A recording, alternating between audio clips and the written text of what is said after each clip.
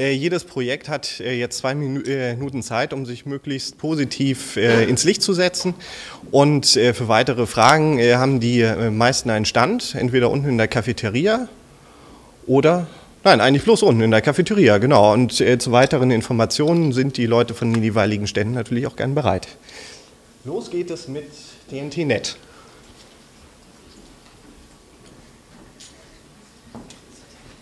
Ja, hallo. Ich freue mich, äh, euch heute TNT-Net vorführen zu können. Äh, TNT-Net, ja, was ist TNT-Net? TNT-Net ist ein Web-Applikationsserver für C++. Das heißt, ich kann C++ in HTML einbetten, ich kann diese Seiten kompilieren und äh, ich kriege native Web-Applikationen, die halt wirklich super schnell sind, sehr kompakt, sehr sparsam im Ressourcenumgang die Seiten werden tatsächlich zur Compile-Zeit übersetzt, das heißt, es gibt einen Compiler-Lauf und ich kriege eine native Applikation. Es ist kein Interpreter zur Laufzeit, äh, sondern es ist der klassische Zyklus. Und es ist ein eigenständiger Server. Es läuft nicht irgendwie unter Apache oder sonst was, sondern es ist äh, standalone. Äh, hat auch den Vorteil, es eignet sich halt für Embedded zum Beispiel, wo ich halt den als einzigen Server betreibe oder eben auch für große Server, da brauche ich nicht, da ist die Administration relativ leicht. So, wie sieht die Entwicklung aus?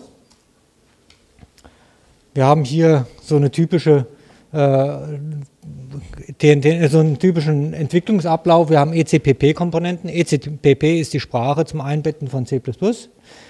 Äh, die werden kompiliert über einen Präcompiler in C++. Wir haben C++-Klassen, die wir dazu binden können oder eben C++-Bibliotheken, die wir beliebig nutzen können. Das Ganze wird in der Regel von irgendeinem Bildsystem, beispielsweise Makefiles, gesteuert. Ja, wer mehr erfahren will, ich habe äh, ab 1 gibt es einen ausführlichen äh, Vortrag und ansonsten ist unten ein Stand, den kann ich das gerne auch äh, äh echt live vorführen, mal ein paar Testapplikationen präsentieren. Vielen Dank.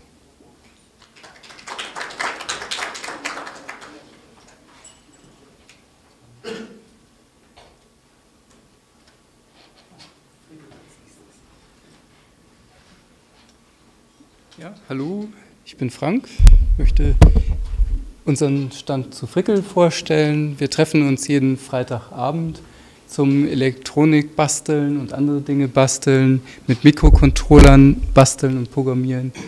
Ähm, sehr breites Themenspektrum, also man kann da auch mit ganz anderen Ideen kommen, zum Beispiel Elektronik vernähen, haben wir auch ein kleines Exponat unten am Stand.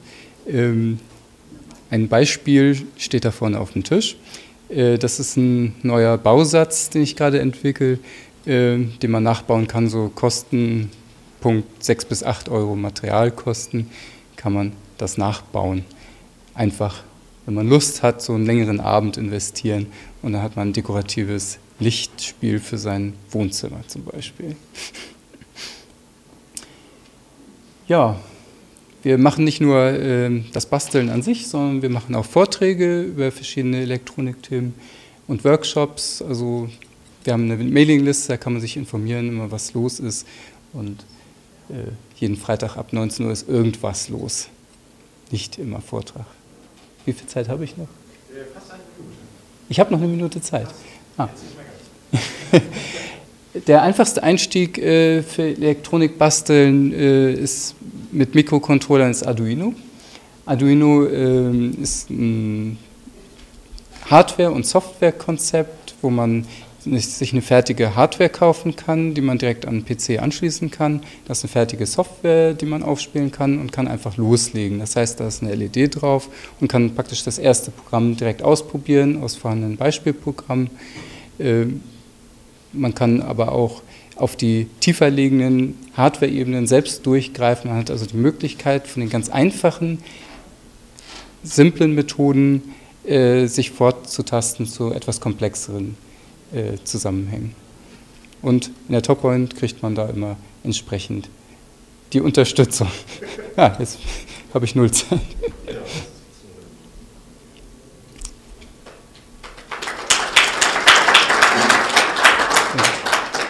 Kommt zufällig das nächste? Ah. Ah, ja.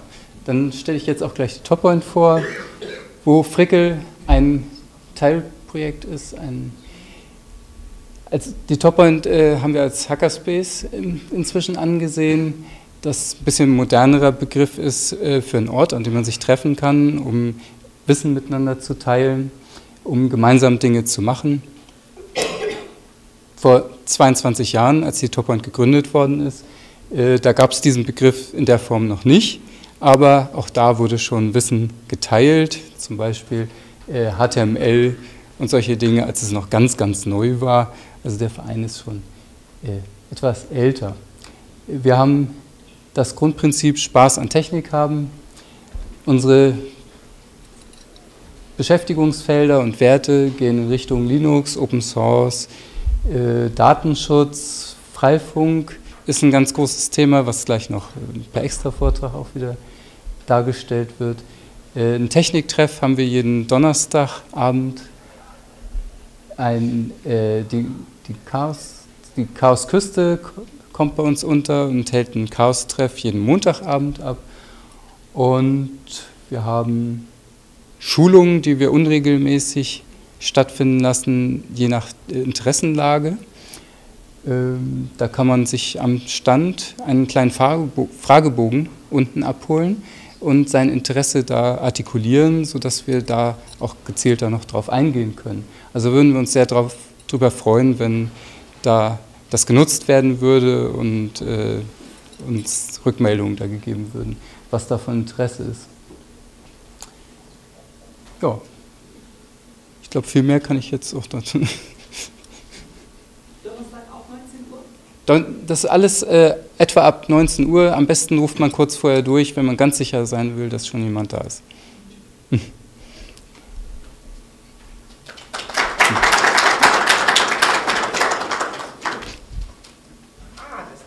Ben? Ja, gut. Also, äh, ich bin Martin Gummi, Schura Baziazat. Damit schon mal gleich das erste Fremdwort. Schura ist sowas wie ein Identitätsüberprüfer.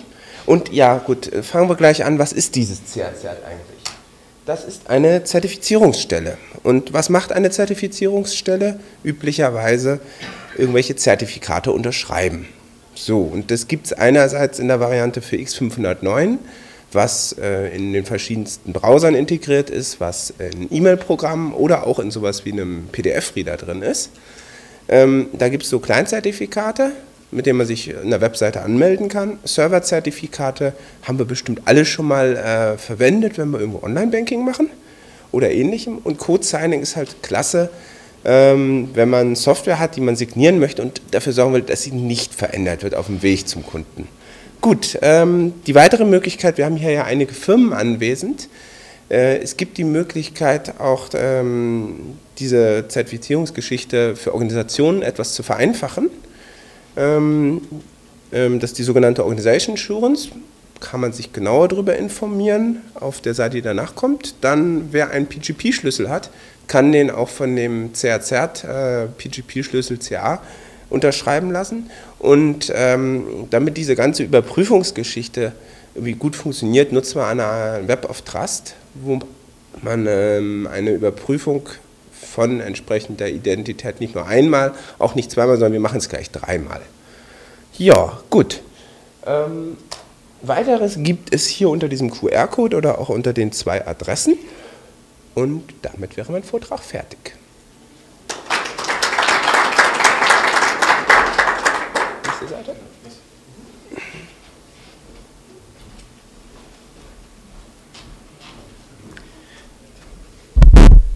Hallo, mein Name ist Jan. Ähm, ich halte heute, einen, heute Mittag einen Vortrag um 15 Uhr über das Tool Rex. Ähm, was ist Rex? Rex steht für Remote Execution. Das ist ein Tool, mit dem äh, man per SSH loggt sich das auf seine verschiedenen Server ein, iteriert über die Server drüber und man kann dem in einer in Perl geschriebenen DSL mitgeben, ähm, was der da machen soll. Also zum Beispiel installiere mir Paket X, konfiguriere mir Software Y und dann auch verschiedene Events zum Beispiel hinterlegen, wenn sich die Konfigurationsdatei zum Beispiel geändert hat, von einem Apache zum Beispiel, ähm, dass er dann den Apache reloaden soll. Ähm, ein kleines Beispiel, ähm, für was man Rex einsetzen kann. Ähm, Ein paar kennen vielleicht das Problem, dass es in der Firma zwei Abteilungen gibt, einmal eine Entwicklungsabteilung und einmal eine Ops-Abteilung. Und ähm, man hat immer so das Problem, dass die, oder oft so das Problem, dass die Live-Server werden halt von den Ops-Leuten deployed und auch von den Ops-Leuten administriert. Oft ist es so, dass die das unter Umständen äh, manuell machen. Wenn eine neue Software-Release kommt, kriegen die dann von der Softwareabteilung irgendwie dreiseitige Installationsanleitung, die und die Schritte durchführen, das bitte installieren. Ähm, auf der anderen Seite hat man dann das Problem, dass die Testserver oft bei, durch die Development-Leute deployed worden sind und dementsprechend anders aussehen wie die Live-Systeme. Und Rex ist ein System oder ein Framework, was einem hilft, um die Entwicklerleute und die äh, Ops-Leute ein bisschen zusammenzukriegen und seine ganze Infrastruktur zu automatisieren, dass man von der Turnschuh-Administration wegkommt. Das war's.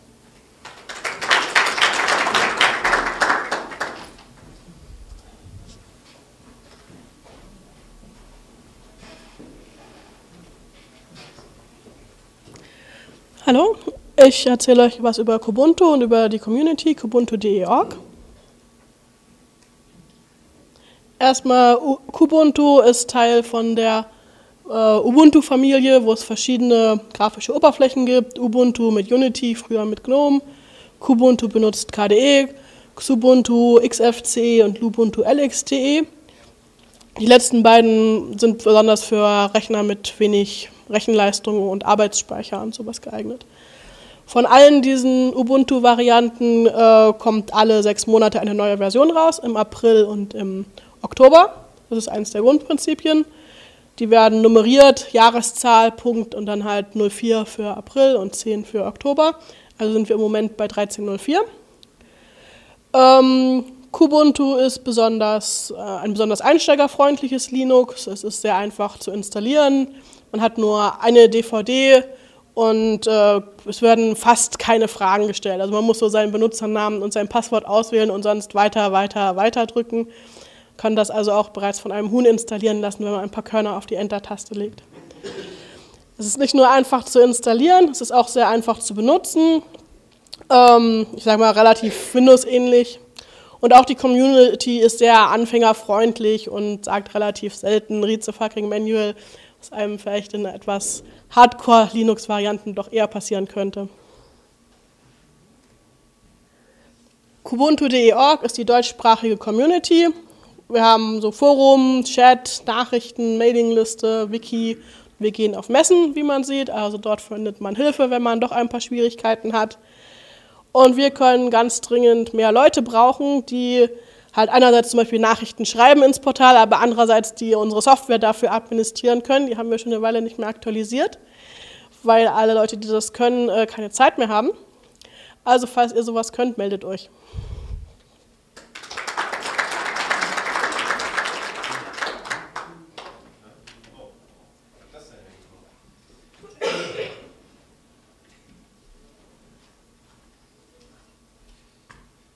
Äh, da muss ich mich. Äh, Moment.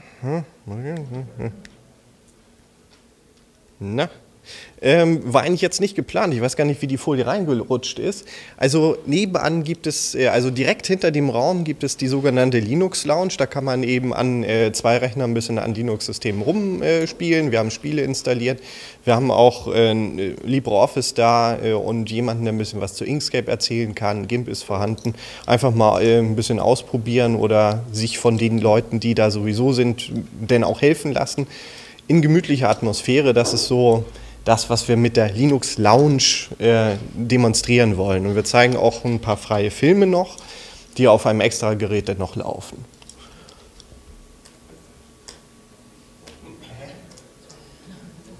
Das ist die falsche Folie.